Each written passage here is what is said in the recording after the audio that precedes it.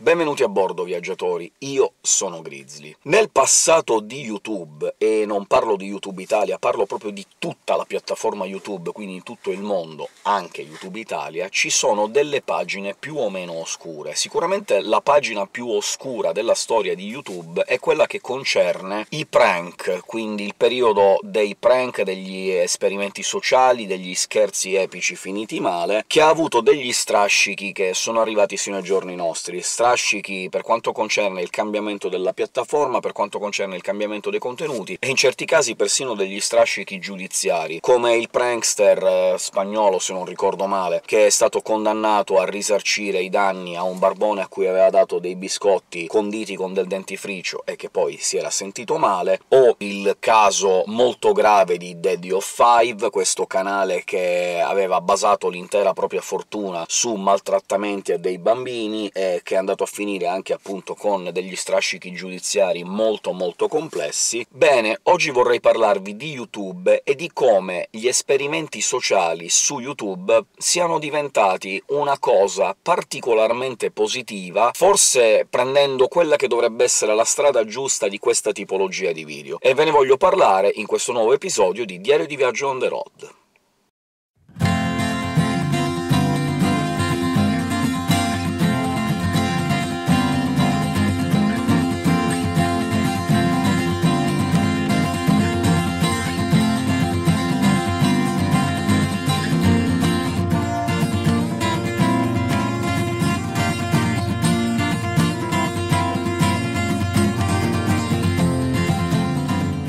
Jimmy ha aperto il suo canale YouTube nell'epoca in cui andavano i prank e i gameplay di Minecraft. Fortunatamente era un bravo intrattenitore, quindi è riuscito ad avere un discreto successo, ma ha anche capito che doveva far evolvere il suo canale YouTube, quindi a un certo punto ha spostato i gameplay su un canale apposito di gaming, e per quanto concerne i prank ha cominciato a realizzare dei contenuti un tantino differenti, pur restando sempre nell'idea dei prank e degli esperimenti sociali. Io ho scoperto aperto il suo canale YouTube fondamentalmente quando è stato lanciato l'hashtag TeamTrees, quindi quando voleva festeggiare i propri 20 milioni di iscritti piantando 20 milioni di alberi. Tra l'altro ci sono dei riferimenti specifici sul doobly-doo, ivi compreso il video che avevo realizzato in quell'occasione. Ovviamente sto parlando di MrBeast. Prima di continuare, il link del canale sul doobly-doo e sulla scheda, se non lo conoscete andate e iscrivetevi, perché merita veramente. Al di là del fatto di essere un bravo intrattenitore, contenitore, il suo canale contiene particolarmente prank ed esperimenti sociali. E voi subito mi direte «Ma Grizzly, sei matto? Ci segnali un canale che fa prank ed esperimenti sociali?» Beh, aspettate, ascoltatemi e capirete perché vi voglio parlare di prank ed esperimenti sociali, perché ciò di cui vi voglio parlare oggi è l'evoluzione dei prank e degli esperimenti sociali e in qualche modo l'evoluzione della piattaforma YouTube. Come è stato con il caso di Team Trees, e in fondo il video di Team Trees, ok, chiamiamo gli amici proviamo a piantare 20 milioni di alberi,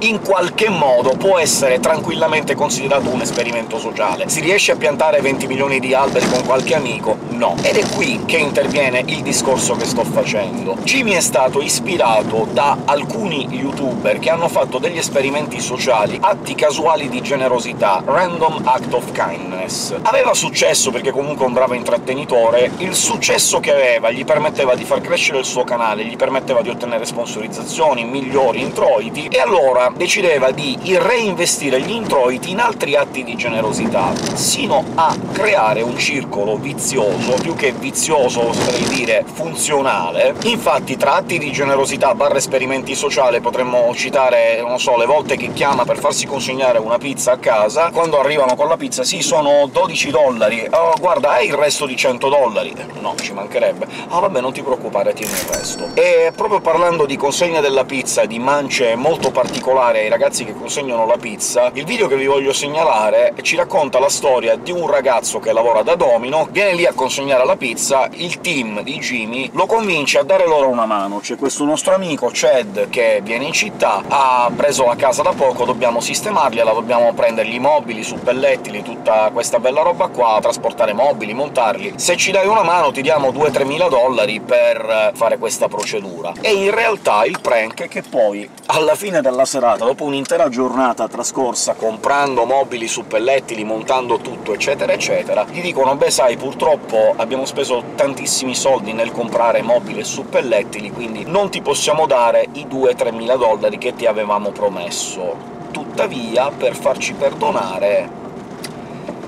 e non vado avanti. Quindi il primo video che vi segnalo del canale, molto molto di ispirazione, molto carino, anche molto ben fatto a livello di intrattenimento e a livello di contenuto, è ho ordinato una pizza e lasciato la casa come mancia. Video linkato sul doobly-doo e sulla scheda, andate dategli un'occhiata. Parlando di esperimenti sociali, vi segnalo un video. In questo video Jimmy compra un milione di dollari in biglietti gratta e vinci, lotteria istantanea. Di questo milione di dollari dice «Quello che io vincerò con questi biglietti lo investirò nell'acquisto di un'isola deserta. Chi mi dà una mano viene con noi su quest'isola deserta, faccio una specie di challenge, l'ultimo che riesce a resistere a questa challenge riceverà in omaggio l'isola. E voi subito mi direte «Ok, ma qual è l'esperimento sociale?» Presto detto, lui spende un milione di dollari, acquista 165.000 biglietti della lotteria, gratta tutti questi biglietti, la vincita finale è di poco più di 700.000 dollari. Scusate, ve lo ripeto, magari meglio.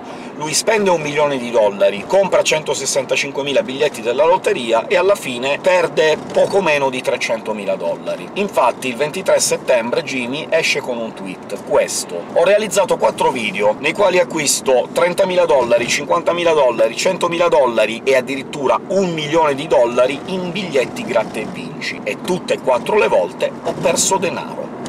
Quindi non comprate biglietti gratta e vinci. Prima di andare avanti, link del video sul doobly-doo e sulla scheda, andate, dategli un'occhiata e poi rendetevi conto di che cosa significa aver acquistato 165.000 biglietti della lotteria Gratta e Vinci. Ci sono persone che in tutta la loro vita non acquisteranno 165.000 biglietti complessivamente. Lui li ha comprati per farci un singolo video. E pur acquistando 165.000 biglietti, pur avendo investito un milione di dollari, alla fine la perdita è stata del 30%.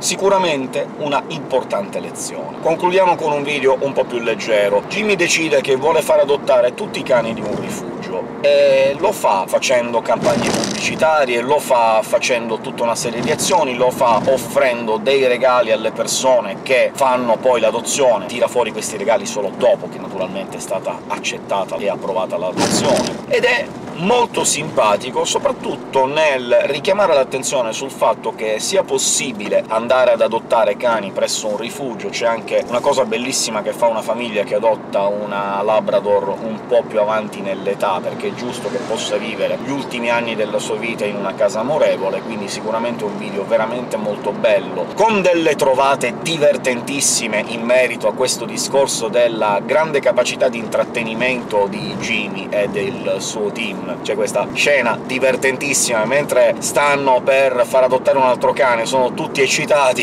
si spacca la sedia, e allora ecco che vediamo, anziché il classico un'ora dopo, una sedia nuova dopo. E quindi il terzo video che vi segnalo è «Ho adottato tutti i cani», link sul doobly-doo e sulla scheda, andate, dategli un'occhiata, vedrete appunto quali sono le simpaticissime doti di intrattenitore di Jimmy e del team dei ragazzi, e vi consiglio di dare comunque in generale un'occhiata ai video del canale MrBeast, in particolar modo ai video degli ultimi due anni, che sono quelli più ispiranti, più ben curati, e dove ci sono tantissime cose che sono state realizzate proprio come atti casuali di generosità, i random act of kindness, che naturalmente non è una cosa che si è inventato Jimmy con il canale MrBeast, è una cosa a cui è stato ispirato anche lui da piccoli esperimenti sociali con questi random act of kindness che c'erano sulla piattaforma. E infatti il canale di MrBeast Beast e il personaggio di MrBeast stanno puntando a migliorare il mondo anche un pochino, anche di quella semplice virgola che si possa fare, cercando di realizzare delle attività o anche questi semplici video, questi esperimenti sociali, affinché siano di ispirazione alle altre persone, magari non a realizzare lo stesso tipo di esperimento sociale, perché naturalmente sono richiesti molti soldi per andare a fare una situazione di questo genere, ma principalmente proprio per essere di ispirazione, a cercare di migliorare il mondo in cui viviamo. È certamente un modo veramente molto bello di utilizzare la piattaforma YouTube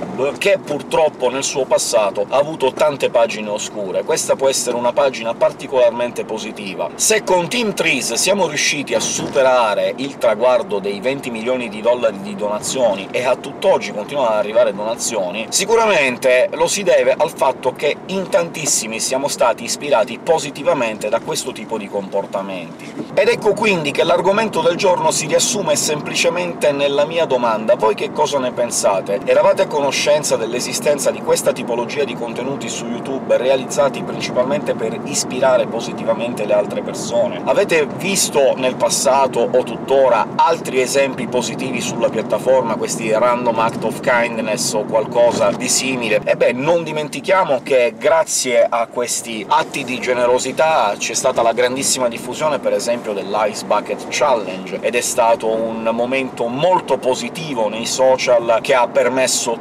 tantissimo di raccogliere fondi e di far andare avanti la ricerca sulla SLA e su tante altre malattie genetiche, quindi sicuramente i social possono essere questo luogo positivo. Ma mi piacerebbe sentire un po' non solo che cosa ne pensate voi, ma se avete altre esperienze di questo livello di positività che volete raccontarmi, potete farlo nei commenti qua sotto oppure su Twitter con l'hashtag DDBOTR. Come sempre grazie per essere arrivati in fondo al vlog, vi invito a mettere pollice in alto e condividere con i vostri amici anche su WhatsApp, Telegram e gli altri app social, magari proprio per ispirare anche i vostri amici a fare qualche piccolo atto casuale di generosità. Iscrivetevi al canale, è gratuito e assumerete subito quel buon profumo di nuovo iscritto che ci piace così tanto. Vedete, basta poco per migliorare anche il mio canale YouTube. Vi ricordo il canale Telegram sul doobly-doo e sulla scheda per notifiche, piccole curiosità e dietro le quinte. Infine segnalatemi in un commento se volete che io tratti qualche argomento particolare. Io sono Grizzly e questo è tutto, per cui come sempre grazie, ciao a tutti e ci vediamo alla prossima!